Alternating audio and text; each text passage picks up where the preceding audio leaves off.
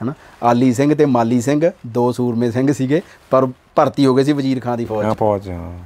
ਆਲੀ ਸਿੰਘ ਤੇ ਮਾਲੀ ਸਿੰਘ ਨੂੰ ਕਹਿੰਦਾ ਵਜ਼ੀਰ ਖਾਨ ਕਹਿੰਦਾ ਵੀ ਮੈਂ ਸੁਣਿਆ ਬੰਦਾ ਸਿੰਘ ਬਹਾਦਰ ਨਵਾਂ ਗੁਰੂ ਪੈਦਾ ਹੋਇਆ ਤੇ ਉਹ ਸਰਹੰਦ ਵੱਲ ਨੂੰ ਚੜ੍ਹਾਈ ਕਰ ਰਿਹਾ ਸੂਰਮੈ ਬਹੁਤ ਆਏ ਆ ਜਿਉਂ ਹੈ ਉਹਨੂੰ ਕਹੋ ਉਹਨੂੰ ਚਿੱਠੀ ਪਾਓ ਸਾਡੇ ਵੱਲ ਸੱਦੋ।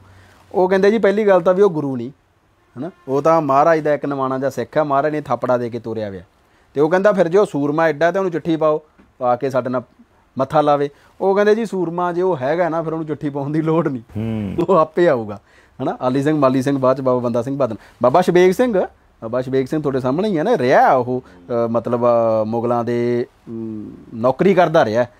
ਜਿਹੜਾ ਤਨਖਾਹੀਏ ਦਾ ਕਨਸੈਪਟ ਹੈ ਨਾ ਪੰਥ 'ਚ ਤਨਖਾਹੀਆ ਸ਼ਬਦ। ਤਨਖਾਹ ਕਿਹਨੂੰ ਲਾਈ ਜਾਂਦੀ ਸੀ? ਜਿਹੜਾ ਪੰਥ ਤੋਂ ਬਿਨਾ ਕਿਸੇ ਹੋਰ ਦੀ ਚਾਕਰੀ ਕਰਨ ਲੱਗ ਜਾਂਦਾ ਸੀ ਉਹਨੂੰ ਤਨਖਾਹ ਲਾਈ ਜਾਂਦੀ ਸੀ। ਅੱਜ ਅਸੀਂ ਕਰ ਰਹੇ ਹਾਂ ਪੰਥ ਦੀ ਚਾਕਰੀ।